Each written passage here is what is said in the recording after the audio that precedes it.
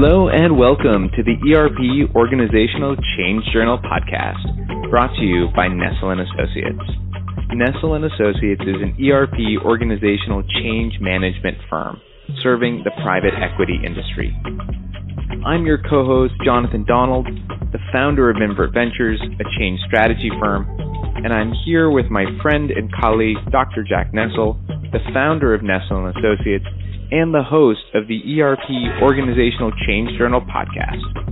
The ERP Organizational Change Journal seeks to share expertise, insight, and create effective conversation to help guide ERP organizational change to real, measurable, and verified success, expanding what we can see so we can act in a more effective way.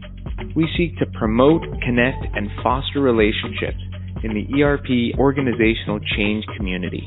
The primary purpose of this podcast is to discuss, share, and reflect upon effective and efficient ways in which to realize ERP organizational change success. We will discuss the people, process, and technological components of ERP organizational change. This podcast is intended as a forum to study, share, and discuss ERP organizational change. It's our intention for this to be a collaboration tool and resource. We hope that you find this podcast useful as we share lessons learned, discover best practices, and explore the human elements and components of ERP organizational change. Our podcast draws on knowledge from extensive research, collaborative learning, practitioner experience of both project successes and project failures. A general review of the themes of ERP and organizational change practice, literature, and research suggests that understanding and critically having an awareness of tactics founded in principle is fundamental to ERP organizational change success. Our podcast will discuss these tactics, explore these approaches, and discover the principles that they are founded upon so that they may prove to be useful in addressing ERP organizational change challenges and risks. Thank you, Jonathan. I'm always so excited and looking forward to fun conversations with you and our guest. Uh, we seek to promote, connect, and foster relationships in the ERP organizational change community. As we are a podcast that desires to engage in valuable insight into the world of ERP organizational change success with interviews and roundtable talk, our guests include experts and pioneers in the field, organizational stakeholders, practitioners, and researchers. Our podcast is a platform for those seeking to share, learn, and reflect on ERP organizational change success. In today's episode, our topic is modern ERP. Select, implement, and use today's advanced business systems with Dr. Bradford. Dr. Bradford is a full professor in the Department of Accounting at North Carolina State University's Poole College of Management, where she teaches ERP systems and has written a core textbook on ERP systems called The Modern ERP Select, Implement, and Use Today's Advanced Business Systems. Dr. Bradford's areas of expertise include enterprise resource planning systems, implementation and security issues, generalized audit software. Thanks, Jonathan. In this episode, we will explore modern ERP system selection, implementation, and challenges of today's advanced business systems. Although enterprise resource planning systems can deliver a powerful business advantage, considerable evidence suggests that, in general, ERP organizational efforts often significantly underperform against preconceived expectations. ERP organizational change is often a complex and dynamic interaction among employees, business processes, and technology. Our guest states in her book that, quote, implementing ERP is a complex, time consuming undertaking that involves many different activities and if handled improperly can cause the project to derail. We will further examine some tactical mechanisms to help counter potential pitfalls. Dr. Bradford is a colleague and a friend who shares a similar passion of education, teaching, learning, sharing, and contributing to our trade, which I define as ERP organizational change. And I must add that their book that we are discussing today is very well done, and I was grateful and fortunate to have had the opportunity to provide some feedback and to contribute to her book. Dr. Bradford, it's such a pleasure to have you on our show today. Thank you, Jack, and thank you, Jonathan. All right, Dr. Bradford, let's dive in. The first question I want to ask, and I, I like to ask this of many of our guests, is How would you define ERP for our listeners?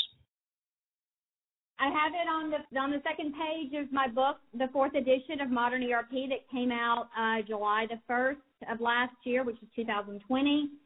And in the book, I define it as business systems that integrate and streamline data across an organization into one complete solution that supports the needs of the entire enterprise. So that's hmm. a pretty succinct definition, I think. Dr. Bradford, clearly there's successful ERP organizational change efforts, but many of us know and many of our listeners know that, that ERP organizational change is a tough business. Failure rates are high for projects and transformations don't always succeed. You mentioned in your book that, uh, and I'm going to quote here, some of the issues encountered during implementation pertain to what's called, quotes, the soft stuff. Can you tell us and our listeners what you meant by that? How do you define the soft stuff and its role in ERP organizational change?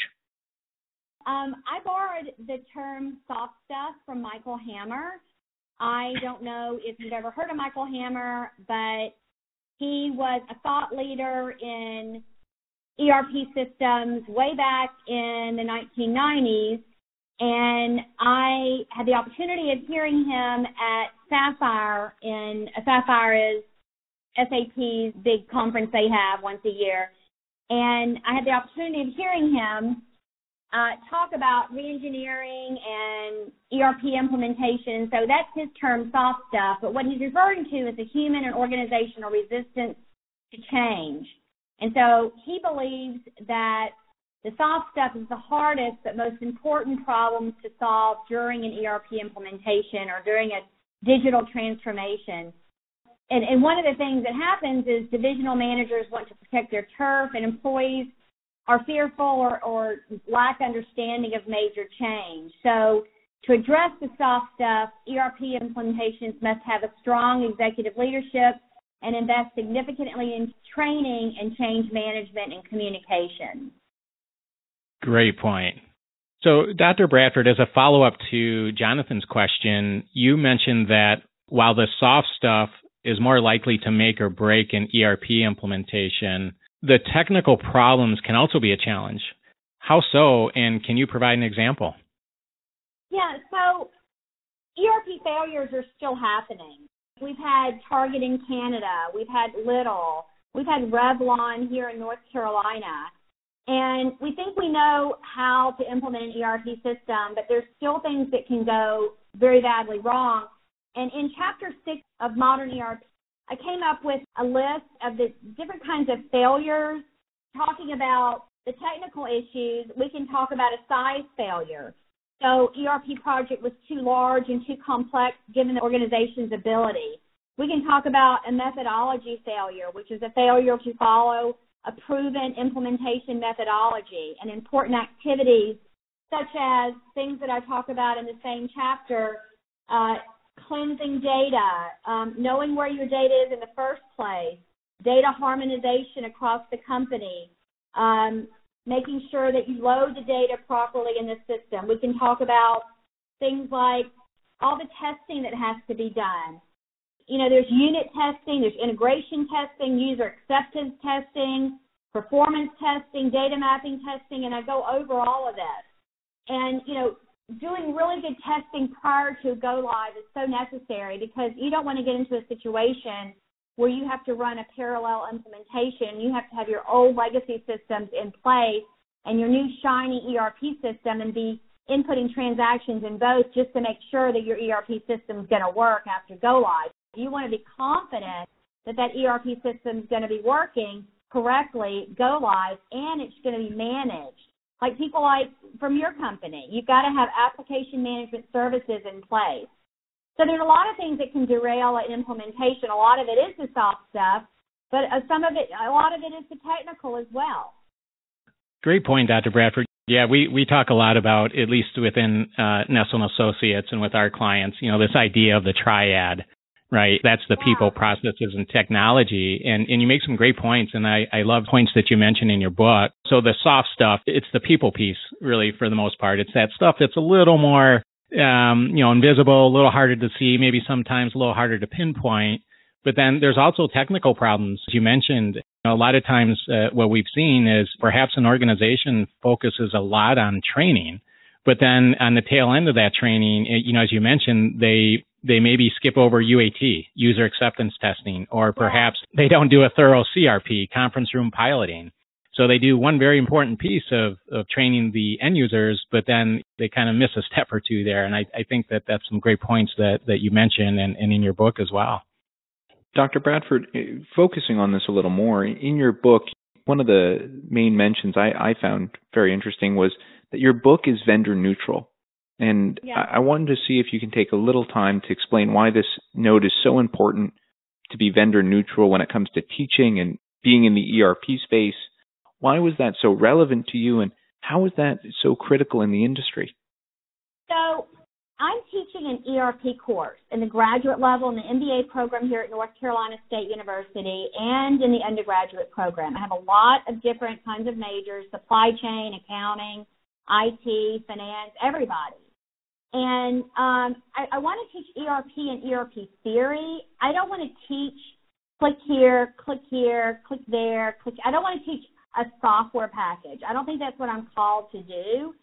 So yeah we are a member of the SAP University Alliances, where uh, my students have um, hands can get hands-on training, and we, we get a client that my students can have logins to, and there's curriculum that's provided to me, and I write my own curriculum.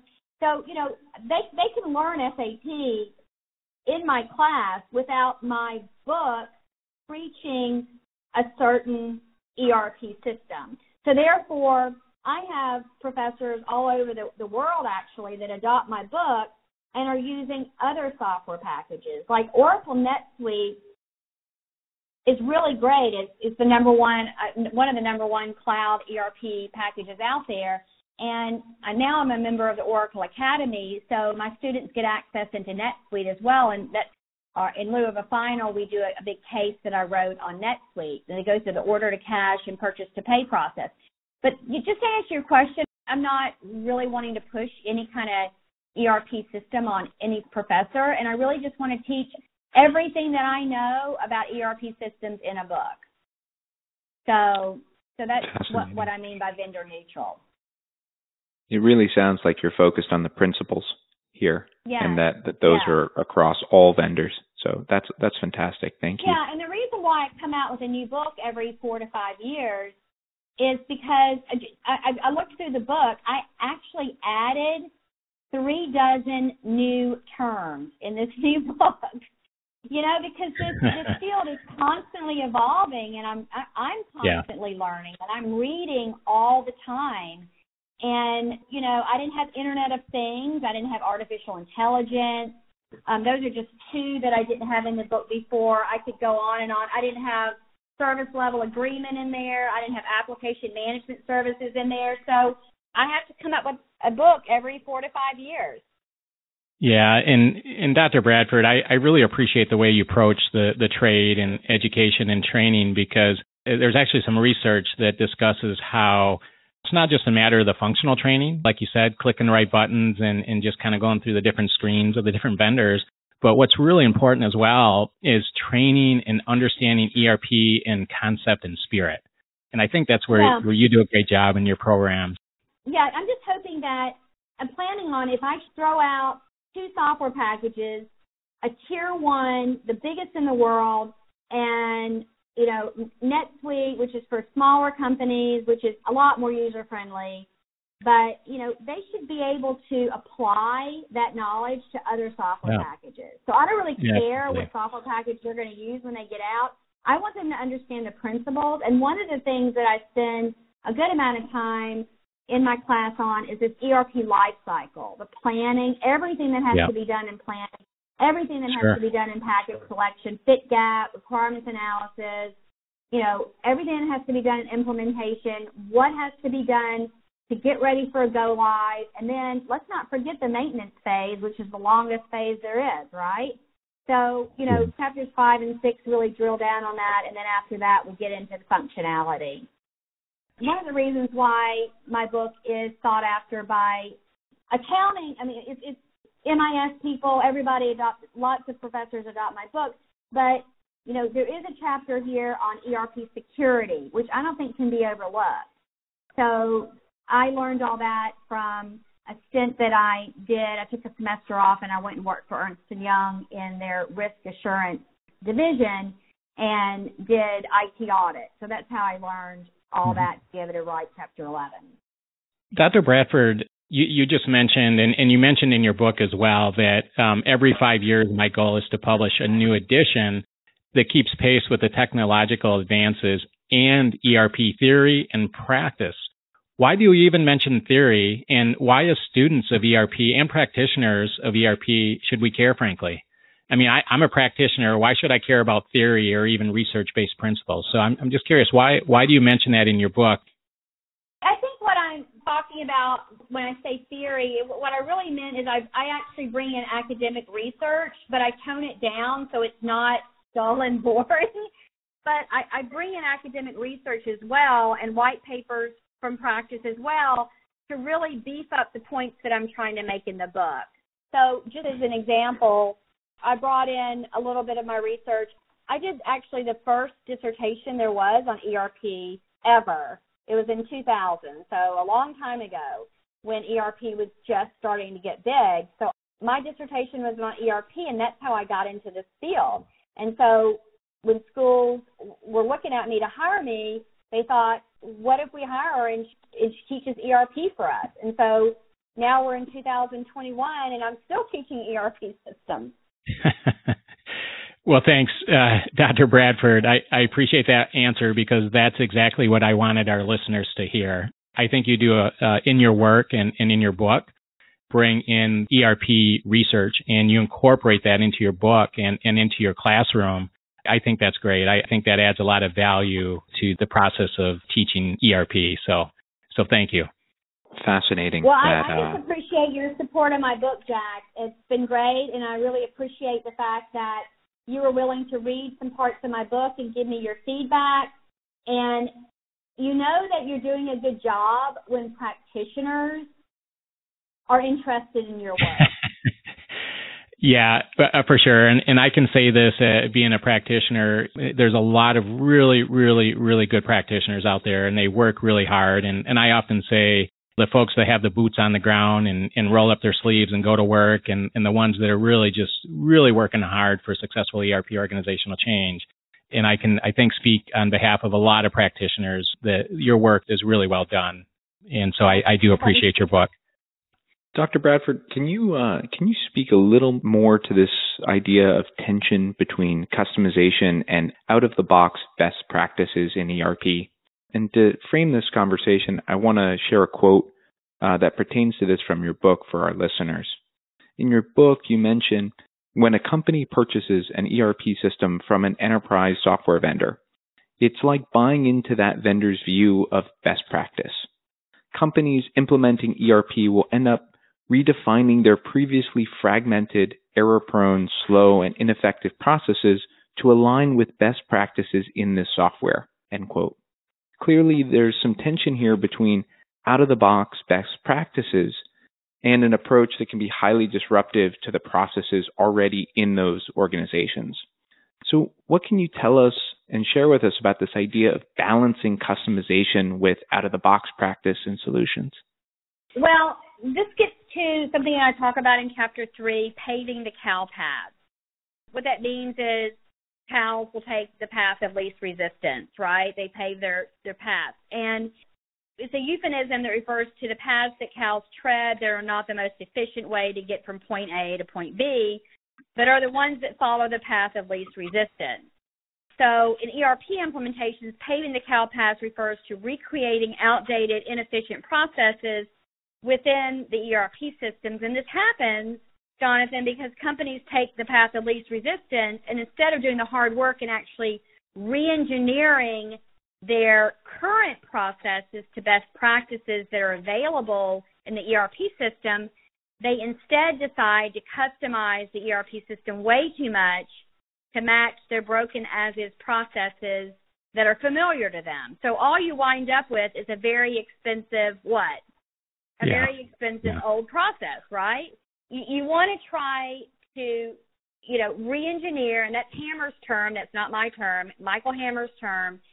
And um, re-engineering the corporation, I think, is a must-read for for anybody. It's it's a great book by Michael Hammer. But you know, re-engineering was his term, and what you really want to do is examine your processes during planning. You want to map them out, map out the broken processes, map out the core processes, map out the processes that are customer facing.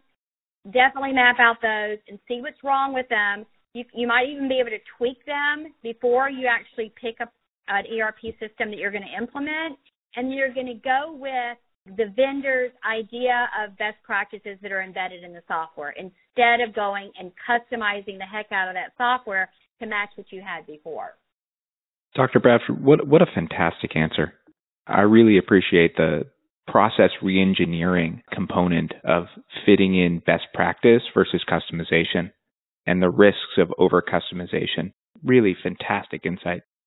Dr. Bradford, just curious, we're doing a lot of uh, research and, and, conversation here within Nestell Associates regarding emerging technology. And in fact, we have some up and coming uh, podcasts where we will focus on emerging technologies. But do you have any thoughts on emerging technology and its place in ERP? Or is there any particular emerging technology that you're excited about in the context of ERP and, and why? You know, everybody talks about cloud, everybody talks about best of breed and integration, everybody talks about mobility, and so those are kind of a given. What I'm really interested in is this Internet of Things and the sensor data and how it's integrated with ERP and then how we're going to use this data and mine it for insights using artificial intelligence, so predictive analytics so I, I really think this the sensor data and the Internet of Things is going to be really really big. I, that's what I'm watching. Got it. Okay. Yeah, I, I agree. It's really going to be interesting to see how the Internet of Things really comes into play and, and is integrated within uh, ERP platforms. Exactly. Um, yeah, I think that's a, a big deal. And I've actually included that in this edition of the book. I go over how those things are going to work it is in this new edition. So, Dr. Bradford, I, am going to switch gears just a little bit here with the next question, and I, I kind of want to circle back on the way I think that you approach teaching and uh, education in terms of ERP. So, bear with me for a second here because I do want to share with our listeners one of your your papers and then provide a quote from that paper because I I, I think it's a, an important concept. In your book, you mention as an objective to quote, distinguish between business process reengineering and business process improvement, end quote. You also wrote other book chapters and several articles, in fact, and papers on business process reengineering. And for our listeners, this would include a book chapter with colleague, I think it was Gingras and uh, Hornby, titled Business Process Reengineering and ERP, Weapons for the Global Organization. In addition, Dr. Bradford, you co-authored an article with Gregory Gerard the paper was called Using Process Mapping to Review Process Redesign Opportunities During ERP Planning, end quote. And, and that was actually in the Journal of Emerging Technologies in Accounting Teaching Notes in 2015.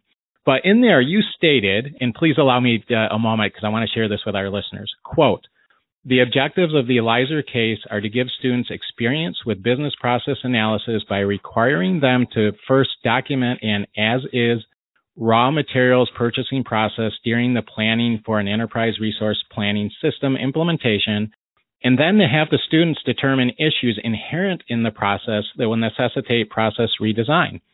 Students will learn the difference between two types of process redesign. I think this is important. And you go on to say business process reengineering, BPR, and business process improvement, BPR. Synthesize this knowledge in order to identify process issues inherent in the case and suggests process redesigns that an ERP system will need to provide so that the purchasing process is more efficient, effective, and controlled. The case has broad appeal for faculty teaching ERP systems and or business process management. End quote. So I really wanted to share that, Dr. Bradford, because I think it's such a, a, really great thing, and I think it has very practical implications in the, uh, you know, out in, in the world for practitioners such as myself.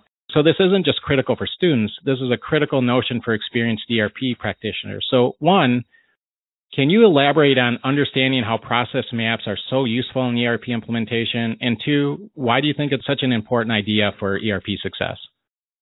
Okay, so yeah, that's a big question here. Um, let me back up just a second. I know that smart companies that are trying to minimize their risk in ERP implementation are doing their due diligence during planning. And part of planning is, like we said, taking a look at current as is business processes. And certainly the processes that I mentioned a second ago, which are customer facing processes, core competency, high defect processes, and processes built around obsolete technology. What we're trying to do is come up with, in this exercise of mapping them out, and I have my students do this. I have them download a trial version of Microsoft Visio, and what you were mentioning was a case that I wrote about five years ago with a colleague, um, a friend of mine actually at Florida State University, where there was no cases to help students, you know, give them a scenario that is embedded with a lot of problems in the process and have them map that out and then think about what those problems are and map out a to be process. So that to be process is going to be a process that you want that ERP system that you pick to support. You don't want the ERP system to support what you were doing before. You want it to move you into like this, this technology enabled reengineering. You want it to bring you from point A to point B and to where you're more competitive and you're more efficient and you have better processes that are more effective. So I, I spent a whole chapter, chapter three, on common problems with business processes, and I have a, a figure three one that goes over all of these. So, so things like problems with paper records and cycle times and data duplication, handoffs, inflexibility, intermediaries, lack of consequences. So using all these ideas, and there's like 20 or 30 of them, I want them to be able to read a scenario and, and the raw material purchasing process was what that case was all about. Read that scenario and pick out, you know, what, what are the problems with these processes and, and, and how can we map out and how can we re-engineer a better process that we would like our ERP system to support, our new ERP system to support a process supporting both the functionality. It needs to be able to do purchase orders. It needs to be able to do, you know, goods receipts. But how does it do this? How does the process work? Who who are the stakeholders? Who are the people that have their hands in this process? And how does it flow from point A to point B? What is the workflow? So that's what we're talking about when we're saying reengineering. Are there steps that can be taken out? Are there ways to do things better?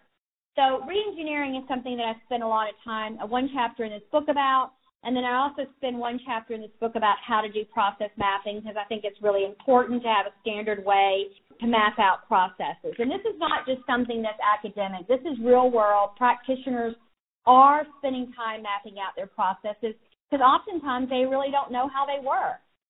Dr. Bradford, if process mapping is so core for ERP practitioners, and I think I experienced your last answer is, is really laying that out, another related art is having and being able to build a valuable stakeholder analysis.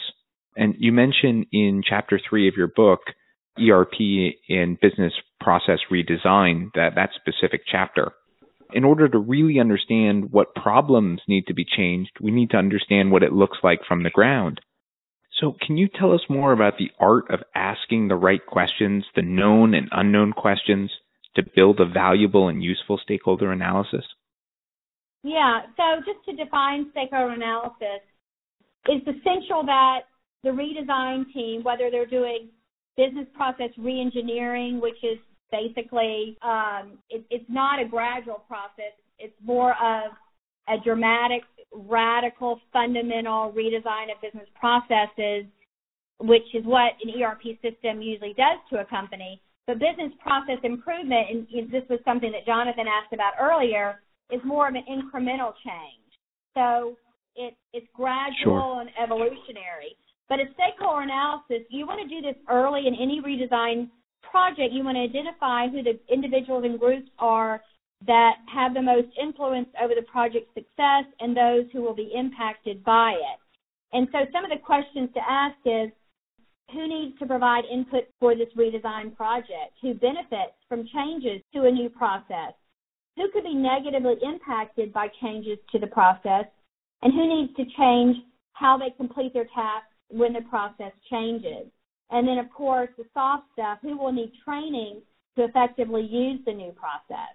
So those are just some of the questions that need to be asked in a stakeholder analysis. Failure to plan for these key stakeholders can cause a lot of issues, you know, including like things like lost customers, wasted money, and even damage to a company's reputation. Good point. So obviously, Dr. Bradford, your book is Modern ERP, Select, Implement, and Use Today's Advanced Business Systems.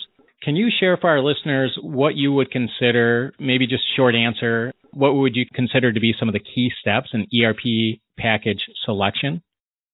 Well, forming a, an ERP selection team is really important, right? The team should be led yeah. by the project manager and executive sponsor and include subject matter experts. So that's important. And not to get, you know, too big, maybe six to eight people, so decisions can be made more effectively and efficiently. Um, you know, requirements and gathering. I do consulting and I serve as expert witness in lawsuits. So I've done like three of them, building cases for these um, lawsuits on either side, the, you know, the defense or, or the prosec- you know, the prosecution. But you know, requirements gathering is a big deal, and that's not soft stuff. That is hardcore figuring out what is the functionality that an ERP system needs to support, right? In the area of purchasing, in the area of accounting, in the area of HR. And so if you miss a requirement, a major requirement, that can cause problems during the implementation. I mean, all of a sudden, you're trying to finish a project in, in, in six months, it's going to go to nine months because you've left out a major requirement. And so that's very important. Of course, trying to figure out, okay, are we going to do a, a family suite? So are we going to get all our modules that we need from one ERP vendor? Or are we going to do best of breed? So that's a big deal, and it's getting to be a, a bigger deal because there's so many niche cloud vendors out there that you might want yeah. to use. For instance, Salesforce is so big in the CRM area, and it, it might benefit a company to to integrate with that cloud, with, you know, with Salesforce, to use Salesforce versus implementing the CRM module that comes with their main family suite. So you have to think about those things as well. Demo days are really important. You don't want to mess up a demo day, right? Because yeah. you don't want right. them coming in and just doing a sales pitch. You you need to send them a script ahead of time and say, this is what you we want you to go over and we want you to go over it with non-customized software. We want to see what your system can do out of the box. And Jack, I can go on and on. How much more do you want me to do?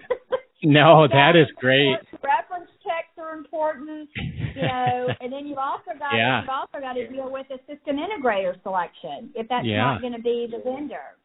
No, that's great, Dr. Bradford. I, I think you're illustrating your point and something that I certainly emphasize and a point that you emphasize in your book is really there's 95 plus just in discrete manufacturing alone, there's 95 or so ERP vendors in that space.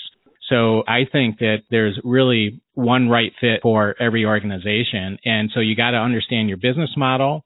And then once you understand your business model, because that helps steer you to the right platform. And then, you know, like you said, you really need to be clear on the functionality that you need within that platform. And so, of course, all all discrete manufacturing vendors and ERP vendors, right? They can all take orders. They can all take sales orders, but often they do it in very different, very different ways. And so that needs to be considered. But, uh, and, and then once you understand the modeling and the business requirements, and then like you said, there's all sorts of other factors that go into that selection process. So I think your point, your point is well taken. Well, you know, when I started teaching this like 20 years ago, I kind of like best of breed was something that you want to steer away from. But it's getting to be more and more popular, especially with yeah. all these new vendors popping up that can do what you want with less money than perhaps your on-premise solution that you might have. Right. and more efficiently and and and, and more user friendly. Yeah. Another great point. Yeah, because you know there's ERP vendors that maybe to a certain degree try to be all things to all people and maybe not yeah. quite as industry specific. But then, like you said, yeah. then there there's very specific industry uh, ERP players, and you need to have that conversation. And then, of course, there's maybe the you know a combination of a best in breed where you combine different solutions. Yeah, I mean, I, I wanted to to talk about the fact that I really drill down on the pros and cons of each of these scenarios in mm-hmm. chapter five of my book when I go over planning and package selection.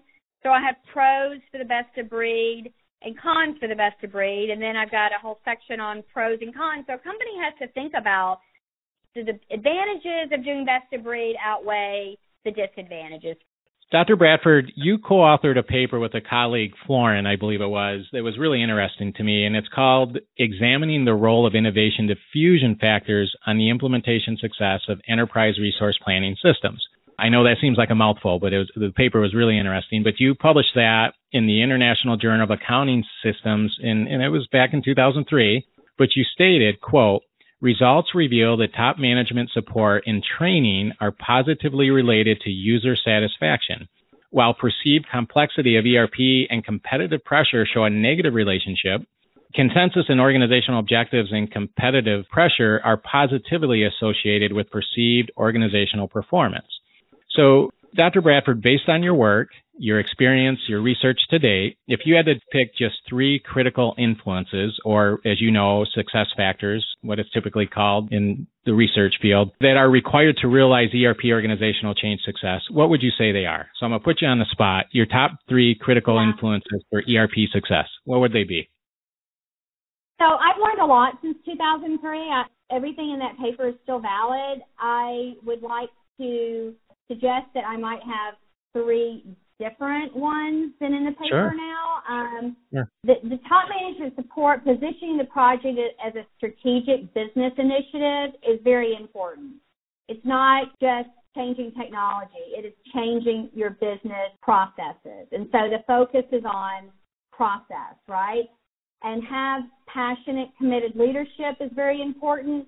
And process owners being the key decision makers is important as well and then the last thing I would say, and I know this is number four, is don't stint on change management. Organizational change management is very important, and that's getting back to the soft step that we talked about earlier. So powerful, Dr. Bradford. Um, this is a question we often ask on this podcast. In conclusion, here, Dr. Bradford, if, if you had to distill down your years of being an educator, a researcher, and a practitioner, what words of advice or way of seeing would you give our fellow practitioners, our listeners, and business leaders in terms of ensuring and supporting successful ERP organizational change and transformation? So, I've been researching and teaching in ERP systems since 2000. So, while I've seen change, there's still a lot has stayed the same. A lot of the issues that we've seen throughout the years having to do with failures. We thought that, you know, we knew everything there was to do about an ERP implementation, and we've got methodologies to make sure that uh, implementations run smoothly. But, you know, it really is a lot of focus on risk management. So I would say that risk management is really important. And I would also say, how do you continue to achieve an ROI? How do you continue to achieve competitiveness with your system? How do you grow after go live? How, you don't want to stay stagnant. You don't want to say, okay, we've got this ERP system in and it's working and everything's fine. But you've got to keep on growing and you've got to keep on adding and you've got to figure out when you're going to do those upgrades and when it's necessary to be done with, you know, a module on premise and go to the cloud and and are you sure that you're accessible for mobility and when are you going to start thinking about artificial intelligence and analytics? So the after go live is my focus at this point. Yeah, that's a good point, Dr. Bradford. I think that, you know, when you quote unquote hit that switch, really that's where a lot of the work really starts, right? Because there is this idea of this post productivity dip. And I think that's a that's a given. So knowing how to maneuver and work your way through that post go live productivity dip is important. And, and I think organizations need to be prepared for that. But that's a great point. Well, not you just know, that, but adding value after go live, right? Exactly. I mean, the yeah. dip is going to be there. The dip is going to be there. It might be 30 days, it might be 60 days, it might be 90 days, but you're going to get Right. it right, hopefully. Yep. But how do you how do you you know make sure that you had baseline measures hopefully during planning and that went into your business case. You need to have Mhm. a center of excellence after go live that's making sure that you're hitting those projections of improvements in like cycle times and and inventory levels, decreasing your inventory levels and uh, rationalization of your suppliers and all this kind of stuff. So you want to make sure that you're circling back around and you're achieving what you thought you were going to achieve or you projected that you were going to achieve during planning. Yeah, absolutely. Yeah. Great. Great point. You know, in ERP implementation, the go live, you know, that's the wedding, right? That's the wedding. Okay, but but after go live is the marriage. You need to be prepared for that marriage. Yeah. Dr. Bradford, I've heard a lot of analogies there with the go live and the pre and the post, but that's a new one. So that's a good one. Thanks. Very illustrative. I think I just made that up on the spot. I've got lots that I can share with you, but probably not on, on the air here. But uh, that was a funny one. That was good. Dr. Bradford, thank you so much for your time today. As a friend and colleague, we appreciate your time and insight. It was a very fun conversation. I know that for me, your passion for your trade, education, and teaching is pretty self evident. So thank you again and, and be well. Thank you, Jack. Thank you, Jonathan. I, I enjoyed speaking with y'all today about my favorite topic, ERP systems. Please join us in our next episode as we discuss training evaluation with Dr. Jim Kirkpatrick. Dr. Kirkpatrick is a senior consultant for Kirkpatrick Partners. He is a thought leader in training evaluation and the creator of the New World Kirkpatrick model. Jim consults for Fortune 500 companies around the world and has written three books with his father, Don Kirkpatrick, the creator of the Kirkpatrick Four Levels. Additionally, he has written three new books with his business partner, Wendy, Kirkpatrick Then and Now, Training on Trial, and the Brunei Window Washer, bringing business partnership to life.